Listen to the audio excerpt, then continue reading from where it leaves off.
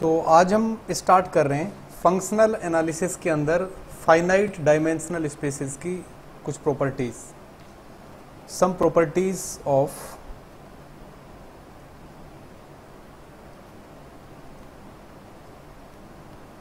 finite dimensional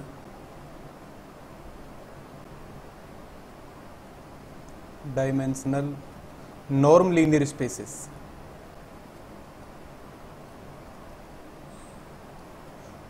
spaces ठीक है? तो इस सेक्शन के अंदर फाइनाइट डायमेंशनल स्पेसिस की या finite dimensional norm linear spaces की कुछ इंपॉर्टेंट प्रॉपर्टीज़ को हम स्टडी करेंगे। तो प्रॉपर्टीज़ स्टडी करने से पहले, सबसे पहले एक लेमा आती है इंपॉर्टेंट यहाँ पर काम में। उस लेमा का हम प्रूफ करेंगे और फिर उस लेमा की सहायता से काफ़ी सारे स्टेटमेंट्स यहाँ पर हम या प्रॉपर्टीज़ जो होंगी फाइनाइट डायमेंशनल स्पेसिस की, उनको प्रूव करेंगे। तो सबसे पहले एक लेमा लिखिए। लेमा और उसका स्टेटमेंट आप लिखिए सबसे पहले तो उसके बाद उसको हम प्रूव करेंगे। Let X one X two up to X N be a linear independent set linear independent set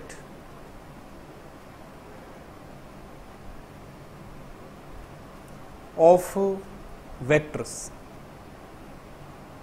of vectors. In a norm linear space capital X. In a norm linear space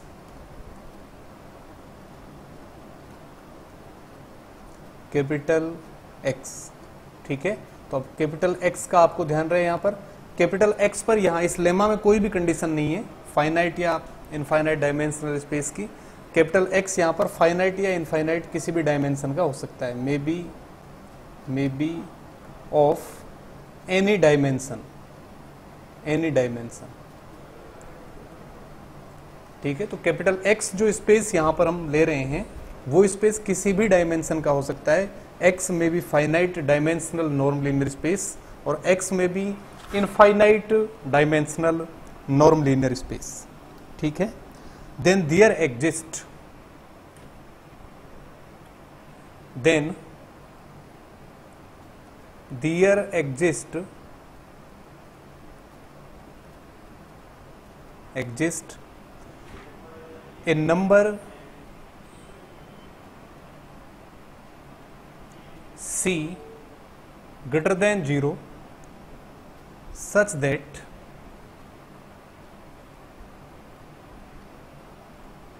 for every choice of scalars for every choice of scalars scalars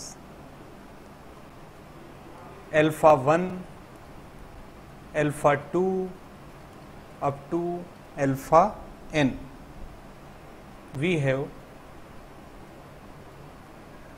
we have norm of alpha one X one plus alpha two X two plus and so on alpha N X N this norm is greater than equal to C in mod alpha one plus mod alpha two plus mod alpha N. ठीक है? तो ये एक important lemma हम यहाँ पर prove करेंगे। तो लेमा का स्टेटमेंट आप यहाँ देख सकते हैं कि x1, x2 up to X N be a linearly independent set of vectors ठीक है?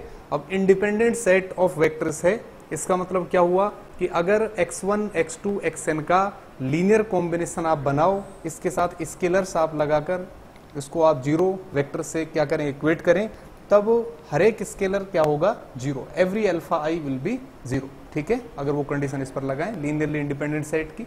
साथ ही अगर ये लीनियर इंडिपेंडेंट सेट है तो इस सेट का कोई भी वेक्टर इस सेट के अंदर ज़ीरो वेक्टर नहीं हो सकता. क्योंकि अगर किसी भी सेट के अंदर ज़ीरो वेक्टर आ रहा है ज़ीरो वेक्टर प्रेजेंट है उस केस में वो vector set linearly independent set नहीं हो सकता। ठीक है? तो सबसे पहली चीज़ तो इसमें यही दे रखी है कि जो वेक्टर्स यहाँ पर x1 x2 xn है, वो लीनियरली इंडिपेंडेंट वेक्टर सेट्स हैं या लीनियरली इंडिपेंडेंट वेक्टर्स बनाते हैं। और साथ ही कैपिटल एक्स यहाँ पर कोई भी नॉर्म लीनियर स्पेस आपको दे रखा है। It may be finite dimensional और it may be infinite dimensional तब हम कह रहे हैं कि कोई ना कोई positive real number C greater than zero इस तरह का एग्जिस्ट करेगा, जो एक दी गई जो कंडीशन यहाँ पर आपके सामने कंडीशन आपको नज़र आ रही है, इस कंडीशन को क्या करेगा? सेटिस्फाई करेगा। कि अल्फ़ा x1 x2 xn का लीनियर कॉम्बिनेशन का जो वेक्टर बनाएँगे, वो ग्रेटर देन इक्वल टू किसके होगा? C into mod alpha one plus mod alpha two plus mod alpha N ये अपने पास है, ठीक है? तो इसका अपन प्रूफ करेंगे। प्रूफ तो प्रूफ लिखिए सबसे पहले मैं ये ज्यूम कर रहा हूँ। Let S equal to mod alpha one plus mod alpha two plus and so on mod alpha N ये मैंने मान लिया। ये एस इक्वल्ड है। ठीक है? अब एस के लिए दो कंडीशंस मैं यहाँ पर लेकर चलूँगा। एस इक्वल टू ज़ीरो और S not equal to zero तो केस फ़र्स्ट अगर मैं कंसिडर करूँ case first when S equal to zero when S equal to zero तो एस अगर ज़ीरो है, इसका मतलब क्या हुआ? This implies mod alpha one plus mod alpha two plus mod alpha N equal to zero अब ये सारे स्केलर्स हैं, स्केलर्स का जब मोड आप करोगे तो पॉजिटिव आएगा greater than equal to zero सारी टर्म्स इन सभी टर्म्स का सम जो कि नॉन नेगेटिव टर्म्स हैं नॉन नेगेटिव टर्म्स का सम अगर ज़ीरो आ रहा है, इसका मतलब ये हुआ कि इंडिविजुअल हर एक टर्म को क्या होना चाहिए? ज़ीरो होना चाहिए। तो मैं यहाँ से लिख सकता हूँ this implies mod alpha I equal to zero for each I equal to one two up to N हर एक के लिए। और अगर मोड एल्फा आई ज़ीरो आ रहा है this implies alpha I equal to zero for each I ठीक है? फॉर ईच आई का मतलब आई इक्वल टू कहाँ से कहें? वन से लेकर एन तक। तो हर एक एल्फा आई ज़ीरो हो गया। अगर हर एक एल्फा आई ज़ीरो है देन जो ये इनइक्वलिटी है this implies inequality holds inequality holds ठीक है? अगर ऐसा हो रहा है तो ये जो ऊपर इनइक्वलिटी आप देखिए आर एच एस इसका? आर एच एस में क्या बनेगा भाई? Alpha one alpha two alpha सभी ज़ीरो है तो ये ज़ीरो बन गया। और greater than equal to greater than equal to यहाँ एल्फा वन एल्फा टू यहाँ पर ज़ीरो ठीक है? तो ग्रेटर देन तो नहीं हो सकता, लेकिन इक्वल टू तो है। इसका मतलब कंडीशन को क्या कर रहा है? सेटिस्फाई तो अगर एस इक्वल टू ज़ीरो है, उस केस में प्रूव करने के लिए हमारे पास यहाँ कुछ नहीं है। आप डायरेक्टली वहाँ से देख सकते हैं कि ये inequality S equal to zero के केस में होल्ड करती है। केस सेकेंड अगर हम कंसिडर करें case second when S is non zero S is non zero ठीक है? और साथ ही एस इक्वल टू किसके माना है मैंने? Alpha one plus alpha two plus and alpha N ये अपने एस एन लिया है। अगर एस नॉन ज़ीरो है, तब क्या होगा? ये इनइक्वलिटी हमें प्रूव करनी है। इनइक्वलिटी ये हमें प्रूव करनी है कि there exist zero such that norm of alpha one X one plus alpha two X two plus alpha N X N is greater than equal to C और mod alpha one plus alpha two plus alpha N ठीक है? ये inequality हमें prove करनी है। तो एक बार इस तरह का या इनइक्वलिटी या हम ये मान लें कि सपोज़ ये चीज़ होल्ड कर रही है, तब ये अगर होल्ड कर रही है तो इस तरह का सी क्या एग्जिस्ट कर रहा है, उसका एग्जिस्टेंस हमें चेक करना है, ठीक है? Existence of number C such that this condition holds यही तो हमें प्रूव करना है, भाई ये इनइक्वलिटी सी इस इनइक्वलिटी को सेटिस्फाई करना चाहिए। तो आप ये कर सकते हैं कि सपोज़ ये इनइक्वलिटी ट्रू है, तब क्या इस तरह का सी वहाँ पर एग्जिस्ट करेगा? अगर इस तरह का सी एग्जिस्ट करेगा तो हम कह देंगे कि इस तरह की कंडीशन ट्रू होगी अदरवाइज़ नहीं होगी। इसको मैं देखो किस तरह से। ठीक है? अपन को ये रिक्वायर्ड टू प्रूव है रिक्वायर्ड टू प्रूव ये चीज़ हमें प्रूव करनी है कि भाई इस तरह का सी एग्जिस्ट करना चाहिए, जो इस कंडीशन को क्या करे सेटिस्फाई करे। ठीक है? और इसको कंडीशन को और थोड़ा सिंप्लीफाई फॉर्म में मैं लिख लेता हूँ, फिर उस चीज़ को अपन प्रूव कर देंगे। तो एस इक्वल टू मैं इसके ले रहा हूँ mod alpha one plus mod alpha two plus mod alpha n. तो क्या बनेगा यहाँ से देखो? Norm of alpha one x one plus alpha two x two plus alpha n x n. और अपॉन इसको मैंने लिख दिया एस और greater than equal to c. इस तरह से आप इसको लिख सकते हैं। और दिस एस इक्वल टू किसके? Mod alpha one plus mod alpha two plus mod alpha n. इसको मैंने लिख दिया नॉर्म अब एस स्केलर है, क्योंकि mod alpha one plus mod alpha two scalar ही आएगा आपके पास तो इस तरह मैं इसको लिख सकता हूँ। Alpha one upon s x one plus alpha two upon s x two scalar को अंदर ले गए एल्फा एन अपॉन एस और x n is greater than equal to c इस तरह से मैंने इसको लिखा।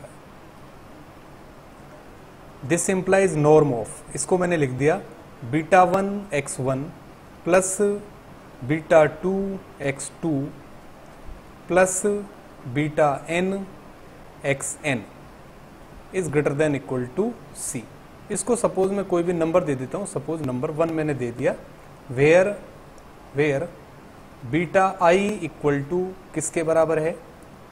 Alpha i upon s alpha i upon s ठीक है? ये बीटा आई की वैल्यू आपके पास है। तो ये अगर बीटा आई है तो समीशन ऑफ़ बीटा आई क्या बनेंगे? देखो यहाँ पर। This implies summation of mod beta i where i equal to one two n ये वैल्यू किसके बराबर होगी? आप देखिए यहाँ से। भाई बीटा वन बीटा वन का मोड किसके बराबर होगा? Mod alpha one upon s इसी तरह से सारे चलेंगे। और बीटा एन का मोड किसके बराबर आएगा आपके पास? Mod alpha n upon s जब इन सबको एड करोगे तो एल एस तो एल्शियम आएगा और एल्फा वन का mod plus mod of alpha two plus mod of alpha n जो एस बनेगा तो s upon s equal to किसके बनेगा? वन के। यानी कि बीटा आई का जो समीशन है, मोड ऑफ़ बीटा आई वो समीशन इस कंडीशन को क्या कर रहा है? सेटिस्फाई कर रहा है। ठीक है? ये। तो कुल मिलाकर अब ये है कि हमें इस तरह के सी का एग्जिस्टेंस चेक करना है, जो कंडीशन वन को क्या करे? सेटिस्फाई करे। इस कंडीशन वन को क्या करना चाहिए? सेटिस्फाई करना चाहिए। अगर इस तरह का सी एग्जिस्ट कर रहा है, तब हम कह देंगे कि ये इनिक्वलिटी क्योंकि हम इनिक्वलिटी को ही लेकर चल दिए अब इस इनिक्वलिटी को लेकर चल के इस तरह का सी का एग्जिस्टेंस हम प्रूव कर देंगे। एक ही बात है, ठीक है? तो अपन को क्या प्रूव करना है? We have to prove we have to prove that that there exist a number c there exist a number c greater than zero such that such that number one holds number one holds हमें prove करना है कि इस तरह का सी exist करेगा such that inequality जो आ रही है नंबर वन, वो क्या करें? होल्ड करनी चाहिए, ठीक है? We will prove this by contradiction we will prove we will prove this by contradiction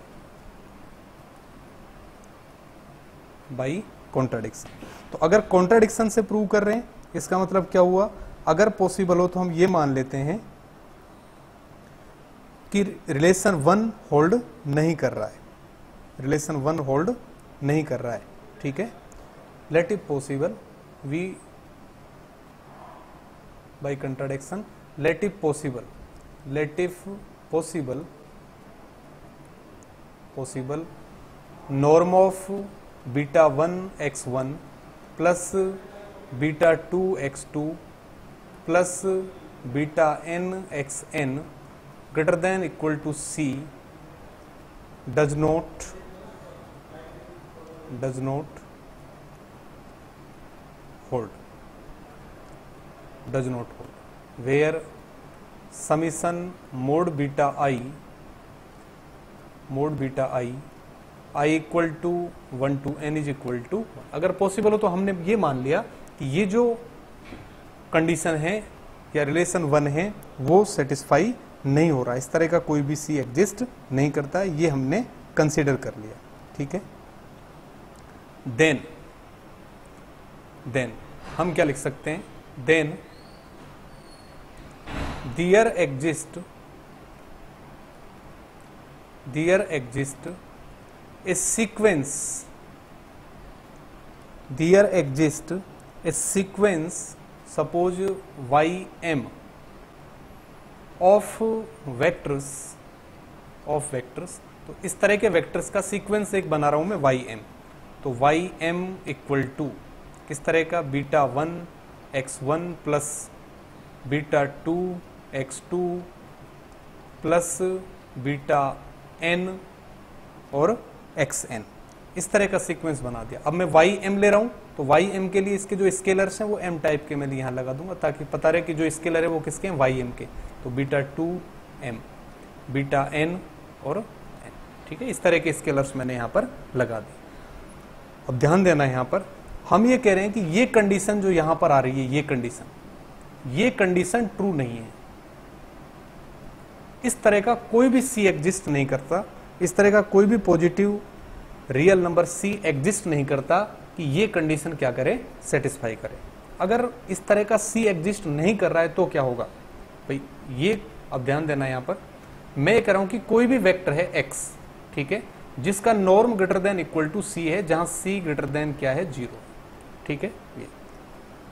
अगर इस तरह का सी एग्जिस्ट नहीं कर रहा है, इस तरह का पॉजिटिव सी एग्जिस्ट नहीं कर रहा है, तब norm of x equal to किसके होना चाहिए? ज़ीरो के होना चाहिए।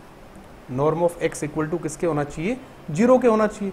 क्योंकि अगर norm x equal to zero नहीं है तो नॉर्म तो हमेशा पॉजिटिव होगा। सपोज़ नॉर्म इक्वल टू किसके ले लिया आपने? वन के। तब तो कोई ना कोई सी निश्चित रूप से यहाँ पर क्या करेगा? एग्जिस्ट करेगा। इस तरह से कि वन ग्रेटर देन किससे हो गया? वन बाई टू तो one by two equal to c आप ले सकते हो।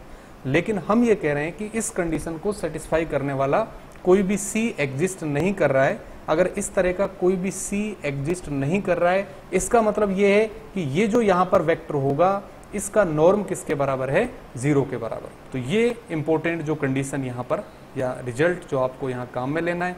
हम ये कह रहे हैं कि यहाँ पर जो ये रिलेशन हमारे पास है, ये रिलेशन इस तरह का सी एग्जिस्ट नहीं कर रहा है। कॉन्ट्राडिक्शन से हम इसको प्रूव कर रहे हैं।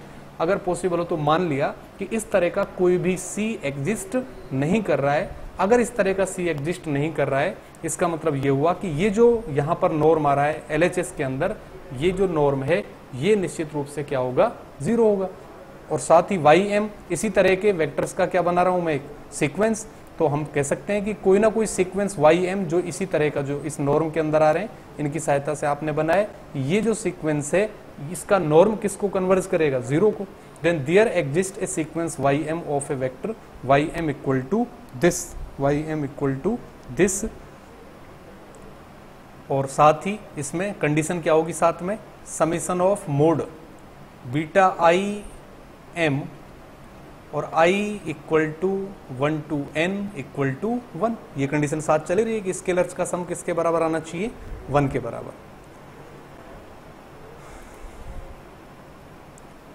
ठीक है? There exist a sequence y m of factors such that such that norm of y m tends to zero is m tends to infinite. Norm of y m tends to zero is m tends to infinite तो ये एक important चीज़ आपके पास आ गई कि अगर इस तरह का सी एग्जिस्ट नहीं कर रहा है, तब यहाँ पर जो भी आप टर्म्स बनाएँगे सीक्वेंस की, वो किसको अप्रोच करनी चाहिए? ज़ीरो को। क्योंकि इस तरह का सी तो है ही नहीं। ठीक है? पॉजिटिव नंबर ऐसा है नहीं कि इसका नॉर्म इस पॉजिटिव नंबर से बड़ा हो तो केवल एक ही कंडीशन आपके पास बचती है कि ये जो सीक्वेंस आप इसकी सहायता से बनाएँगे, ये किसको अप्रोच करेगा? ज़ीरो को when m tends to infinite और इस रिज़ल्ट को मैंने सपोज़ क्या मान लिया? Number two number two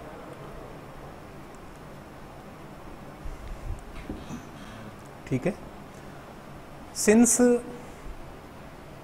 since summation mod beta i m equal to one, for i equal to one two n.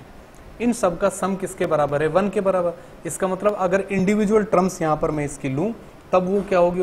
Less than equal to one या तो one हो सकती है, बाकी टर्म्स ज़ीरो बन सकती है, या फिर लेस देन इक्वल टू क्या होगी? वन तो यहाँ से आप लिख सकते हैं this implies for each for each fixed j for each fixed j summation of for each fixed j mod beta j m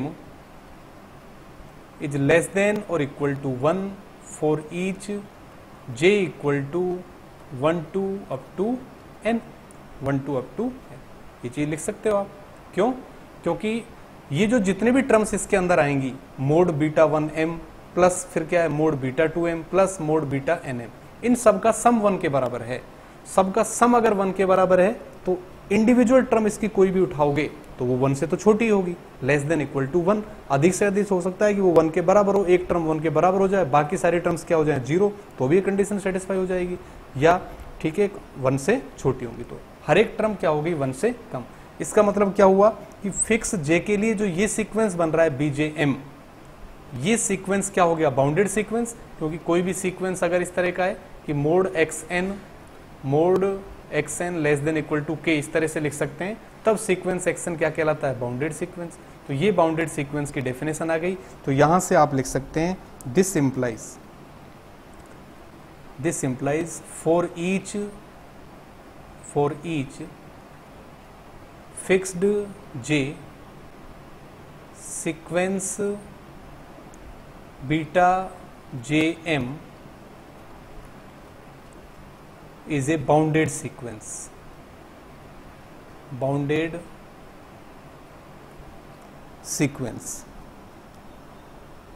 ठीक है? Is a bounded sequence of scalars तो ये स्केलर्स का एक बाउंडेड सीक्वेंस है. अगर ये bounded sequence है, तब इस पर बोलजानो वास्ट्रास थ्योरम हम अप्लाई कर सकते हैं. Then by Bolzano Weierstrass theorem theorem. Sequence beta j m, beta j m has a convergent subsequence, has a convergent subsequence.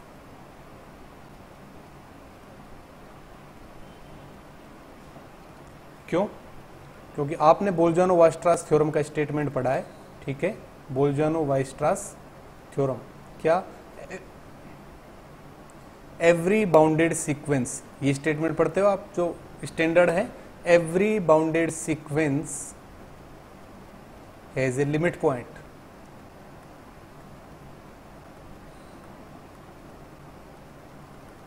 Every bounded sequence has a limit point. तो अगर कोई भी बाउंडेड सीक्वेंस आपके पास है, तब उसका कोई ना कोई लिमिट पॉइंट एग्जिस्ट करेगा। अगर सीक्वेंस का लिमिट पॉइंट एग्जिस्ट कर कर रहा है, तब क्या होता है? कोई ना कोई सब सीक्वेंस इस तरह का एग्जिस्ट करता है, जो उस लिमिट पॉइंट पर क्या करता है? कन्वर्ज करता है।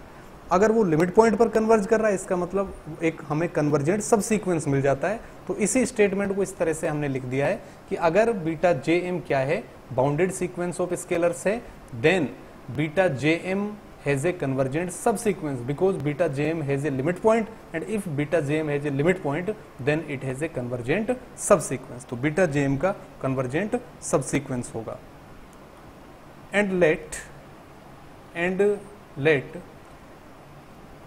convergent subsequence convergent subsequence of beta jm beta jm converges to converges to beta one. हम ये मान लेते हैं कि बीटा जे एम का जो कन्वर्जेंट सबसीक्वेंस हमें मिल रहा है, वो किसको कन्वर्ज कर रहा है? बीटा वन को कन्वर्ज कर रहा है। और कन्वर्जेंट सबसीक्वेंस को मैं मान लेता हूँ यहाँ पर सपोज़ गामा क्या मान लिया मैंने? कन्वर्जेंट सबसीक्वेंस को मैंने मान लिया यहाँ पर suppose gamma j m. Gamma j, इस तरह से। ठीक है? भाई बीटा जे एम का कन्वर्जेंट सब सीक्वेंस किसको मैंने मान लिया? गामा जे एम को। और अगर ये कन्वर्जेंट सब सीक्वेंस है, तब इसका कोई ना कोई लिमिट आएगी। उस लिमिट को मैंने क्या मान लिया? बीटा वन की। सपोज़ कन्वर्जेंट सब सीक्वेंस किसको कन्वर्ज कर रहा है? बीटा जे एम है तो इस पॉइंट को मैंने क्या मान लिया? बीटा जे बीटा जे, ठीक है? तो gamma j m is a convergent subsequence of beta j m which converges to beta j, ठीक है? ये हमने मान लिया। इसका मतलब ये है, ये हर एक जे के लिए ट्रू है। For each j for each j that is that is gamma one m gamma one m is a convergent subsequence convergent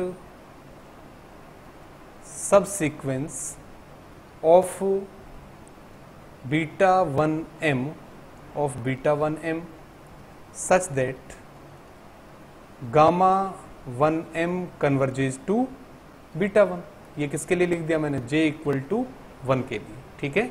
j equal to one के लिए बीटा वन एम बनेगा। बीटा वन एम बाउंडेड है तो इसका convergent subsequence exist करेगा। अगर इसका subsequence exist कर रहा है कन्वर्जेंट उस कन्वर्जेंट सबसिक्वेंस को मैंने क्या मान लिया? गामा वन एम अब गामा वन एम कन्वर्जेंट है तो ये किसी ना किसी पॉइंट को कन्वर्ज करेगा। उस पॉइंट को मैंने क्या मान लिया? बीटा वन तो gamma one m converges to beta one beta one तब देन या since since y m equal to since y m equal to किसके लिया था मैंने? Beta one m beta one m x one, ये माना था, plus beta two m x two, plus beta n m x n. ये मैंने Y M के बराबर माना था, ठीक है? Y m. तब अगर इसका सब्सिक्वेंस की टर्म में यहाँ पर लिखूं, और साथ ही इसकी कंडीशन क्या है? इसकी कंडीशन क्या थी? Summation beta i m mod equal to किसके बराबर है? वन के बराबर, ठीक है? ये कंडीशन सब में चल रही है, उसको बार बार मैं नहीं लिख रहा हूँ, ये ओबियस है। अब आप देखिए, ये जो ट्रम है beta one m beta one m इसकी जगह में क्या लिख रहा हूँ? Gamma one m gamma one m x one plus बाकी को मैं एजिटिज लिख रहा हूँ beta two m x two plus क्योंकि अभी सिर्फ़ जे इक्वल टू वन के लिए मैंने कंडीशन लगाई है। Plus beta n m x n कहने का मतलब ये कि भाई सीक्वेंस के टर्म सीक्वेंस के लिए अगर कोई कंडीशन सेटिस्फाई हो रही है, तब उसके सबसीक्वेंस उसी की तो टर्म्स बनेंगी, उसी सीक्वेंस की तो वो भी उस कंडीशन को क्या करेंगी? सेटिस्फाई करेंगी। तो यहाँ पर तो बीटा वन एम के लिए था, यहाँ मैंने क्या बना दिया? गामा वन एम इसको लिख दिया। और इसको मैं एक नाम दे रहा हूँ, इस तरह से। सपोज़ इसको मैंने मान लिया y one comma m y one comma ठीक है? इस तरह से। तब आपको पता है कि ये जो सीक्वेंस बना वाई वन एम वो बीटा वन एम के सब सीक्वेंस की सहायता से बना है। तो y one m y m का क्या बन जाएगा? सब सीक्वेंस बन जाएगा। ठीक है? So so y one m y one m comma m is a subsequence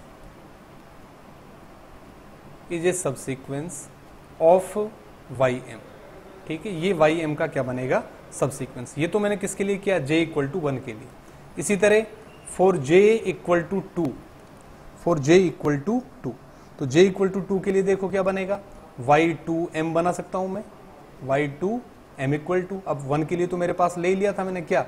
gamma one M और एक्स वन आ गया था। प्लस फिर टू के लिए क्या आ जाएगा मेरे पास? गामा टू एम और एक्स टू और बाकी फिर उसी तरह से चलेंगे।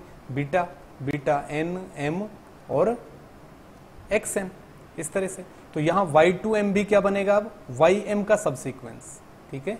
So so y two m y two m is a subsequence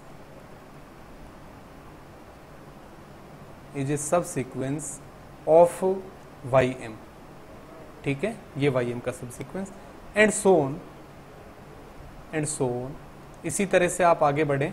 So on for for j equal to n for j equal to n क्या बनेगा मेरे पास? Y n comma m equal to y n comma m equal to क्या लिख सकते हैं? अब सब पर वो अब लिखते हैं जे के लिए तो ये लिखते हैं अपन. X one j equal to one के लिए, फिर टू के लिए. गामा टू एम तक की टर्म्स ले ली मैंने, एक्स टू प्लस और फिर एन के लिए गामा एन, एम और x n. So y n m y n m is a subsequence subsequence of y m sequence y तो सीक्वेंस वाई एम के अलग अलग तरह से मैंने यहाँ पर क्या बनाए सब सीक्वेंस बनाए। तो एक बार फिर से आप इसको देख लीजिए। क्या क्या है पढ़ने? वाई एम इक्वल टू किसके है मेरे पास? वाई एम इक्वल टू ये था, देखो आप beta one m beta two m beta n m अब हम ये कह रहे हैं कि beta one m plus beta two m का mod plus beta n m का मोड सबका सम वन के बराबर है, इसलिए इंडिविजुअल टर्म्स का मोड करेंगे तो less than equal to one है। इसका मतलब इंडिविजुअल टर्म्स जो होंगी वो क्या है? बाउंडेड है। तो सीक्वेंस बीटा वन एम जो बनेगा वो बाउंडेड सीक्वेंस है। Sequence beta one m is bounded it has a convergent subsequence by Bolzano Weierstrass theorem और इसका सब सीक्वेंस मैंने क्या ले लिया?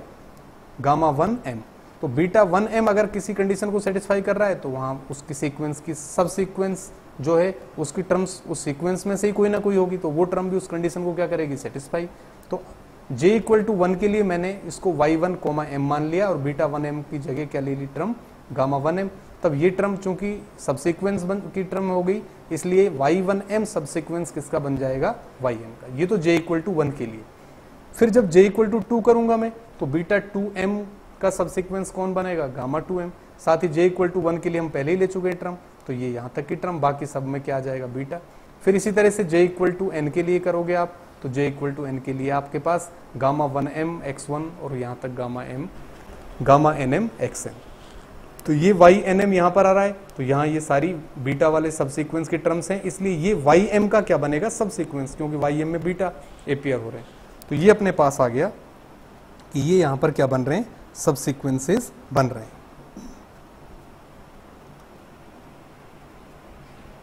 ठीक है? तो क्या है अपने पास? So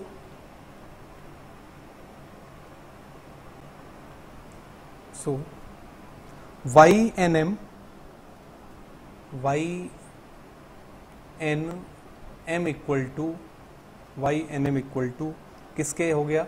समीसन ऑफ़ समीसन ऑफ़, इस तरह में लिख सकता हूँ। Gamma i m, x i और where i equal to one two n, इस तरह से हम लिख सकते हैं।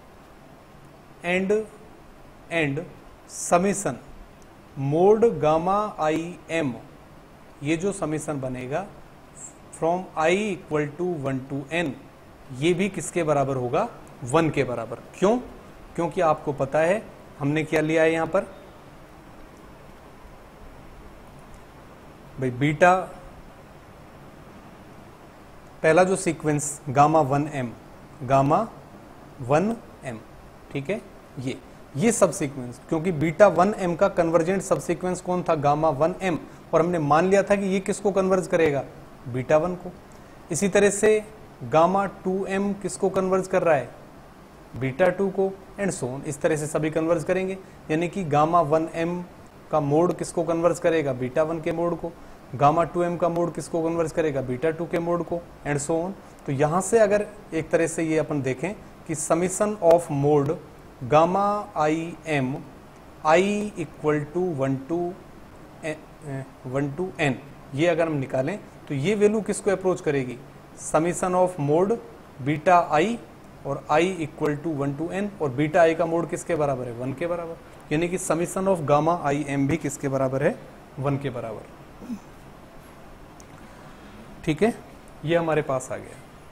तो सबसिक्वेंस की कन्वर्जेंट सबसीक्वेंस की डेफिनेशन या ये कहें कि कन्वर्जेंट सबसीक्वेंस जो सीक्वेंस का लिमिट पॉइंट है उस पर क्या कर रहा है? कन्वर्ज कर रहा है। Gamma one m gamma two m ये सारे के सारे beta one beta two m beta three m ठीक है?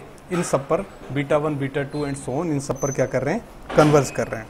As m tends to infinite अब आप देखिए कि वाई एम एन किसको कन्वर्ज करेगा? Since y m n y m n equal to किसके था?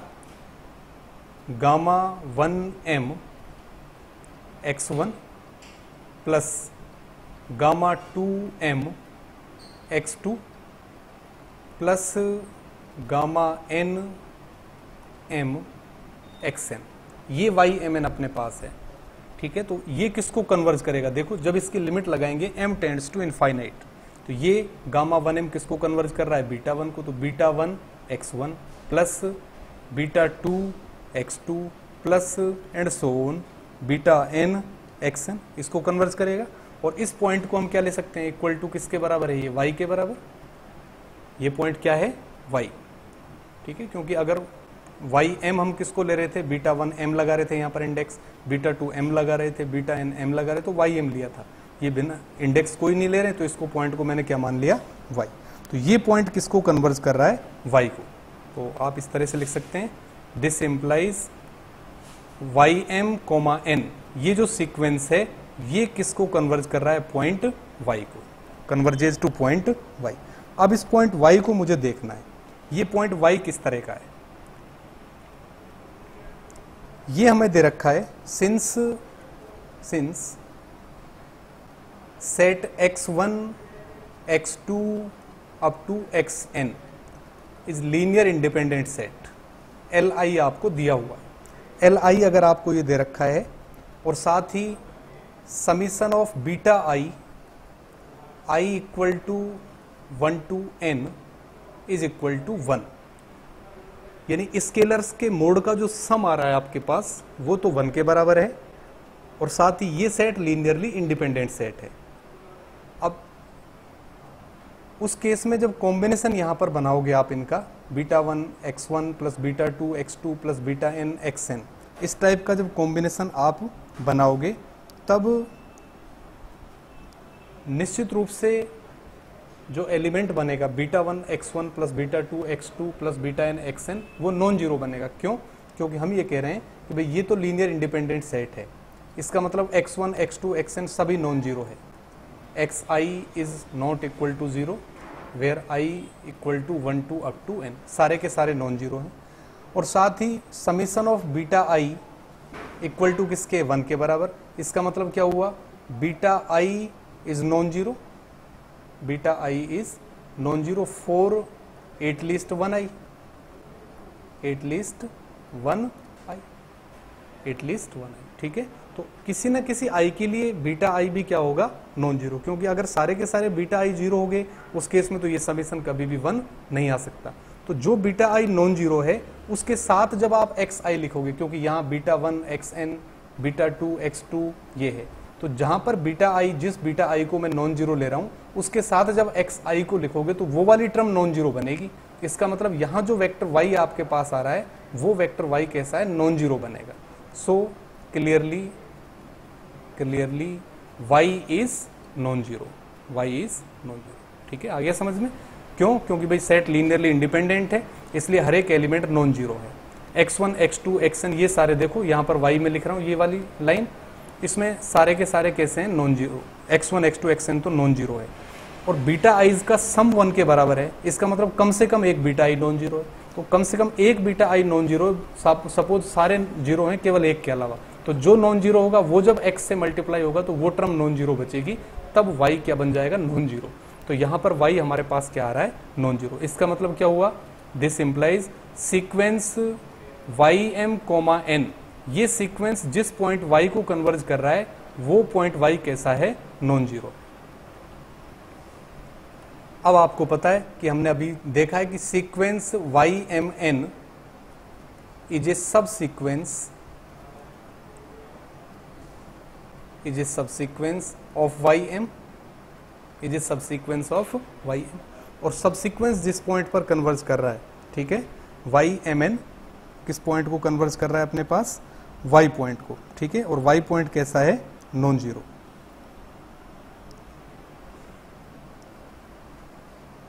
y m n tends to y which is non zero ठीक है?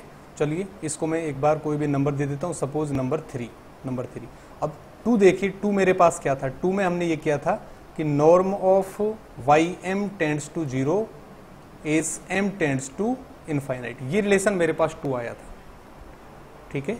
रिलेशन टू मैं निकालता हूँ एक बार देखिए। ये रिलेशन आया था। वाई एम आपने इस तरह का कंसिडर किया था वहाँ पर। ठीक है? और वहाँ हमने ये मानकर चले थे कि इस तरह का सी एग्जिस्ट नहीं कर रहा है। अगर इस तरह का सी एग्जिस्ट नहीं करेगा तो ये जो वेक्टर्स बनेंगे, ये सारे के सारे क्या बनेंगे? ज़ीरो यानी कि इन वेक्टर्स की सहायता से एक सीक्वेंस अगर मैं कंस्ट्रक्ट करूँ वाई एम तब उस सीक्वेंस किसको अप्रोच करेगा? ज़ीरो को। ठीक है? तो ये मेरे पास टू था कि वाई एम किसको अप्रोच कर रहा था? ज़ीरो को। अब हम ये कह रहे हैं कि Y M N subsequence है। किसका? वाई का। अगर Y M N Y M का सब है तो क्या होगा? दिस इंप्लाइज दिस इंप्लाइज या वाई एम का नॉर्म अगर ज़ीरो को अप्रोच कर रहा है तो वाई एम भी किसको अप्रोच करेगा? ज़ीरो को। As m tends to infinite sequence y m किसको अप्रोच कर रहा है? ज़ीरो को। और this implies this implies sequence y m n tends to zero as m tends to infinite क्यों? भाई, अगर वाई एम ज़ीरो के अप्रोच कर रहा है तो एन भी ज़ीरो के अप्रोच करेगा, क्योंकि वाई एम का सब सीक्वेंस है।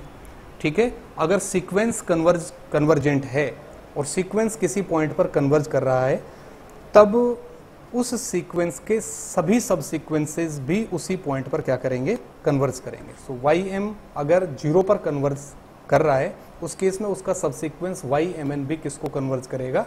ज़ीरो को कन्वर्ज करेगा। यहाँ से मेरे पास ये आ गया तो इस रिलेशन को मैंने मान लिया सपोज़ फोर तो थ्री और फोर से अब आप देखिए थ्री में हम कह रहे हैं कि वाई एम एन जिस पॉइंट पर कन्वर्ज कर रहा है, वो नॉन ज़ीरो है। फोर में हम कह रहे हैं कि वाई एम एन जिस पॉइंट पर कन्वर्ज कर रहा है वो ज़ीरो है। इसका मतलब थ्री और फोर एक दूसरे को क्या कर रहे हैं? कॉन्ट्राडिक्ट कर रहे हैं।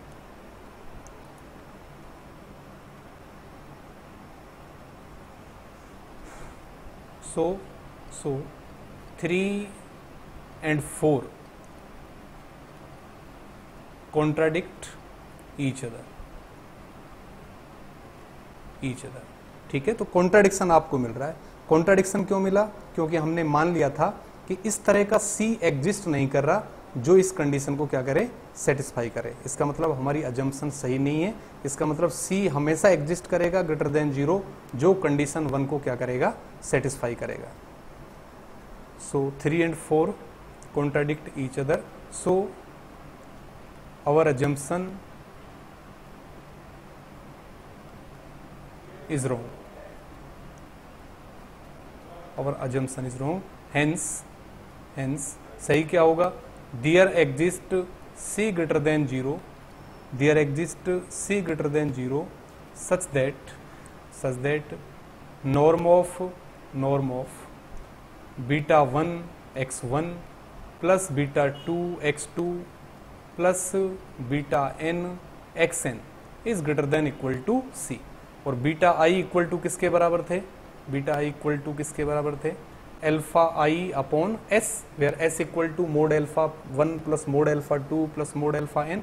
तो यहाँ से आप इसको लिख सकते हैं। So norm of alpha one x one plus alpha two x two plus alpha n x n is greater than equal to c into s आएगा। और एस की value mod alpha one plus mod alpha two और plus mod alpha ठीक है? तो ये हमेशा inequality क्या होगी? ट्रू हमेशा इस तरह का सी एग्जिस्ट करेगा जो इस कंडीशन को सेटिस्फाई करेगा। क्योंकि हमने इसको कॉन्ट्राडिक्शन से प्रूव किया है। क्योंकि पॉसिबल हो तो हमने ये मान लिया था कि इस तरह का सी एग्जिस्ट नहीं कर रहा है। लेकिन तब हमें क्या मिल रहा है? कॉन्ट्राडिक्शन इसका मतलब इस तरह का सी हमेशा एग्जिस्ट करेगा। इसको दूसरे फॉर्म में इस तरह भी आप लिख सकते हो। Summation of alpha i x i i equal to one to n norm is greater than equal to c into summation mod alpha i i equal to one to n one to n ठीक है? इस form में इसको हम लिख सकते हैं। तो अब, और ये इनइक्वलिटी चाहे finite dimensional norm linear space आपके पास हो, या infinite dimensional norm linear space आपके पास हो, हर एक केस में ये इनइक्वलिटी ट्रू है। तो ये एक इंपॉर्टेंट लेमा आज हमने प्रूव की है। अब इस लेमा की सहायता से finite dimensional norm linear space की बाकी प्रॉपर्टीज़ नेक्स्ट लेक्चर्स में कंप्लीट करेंगे।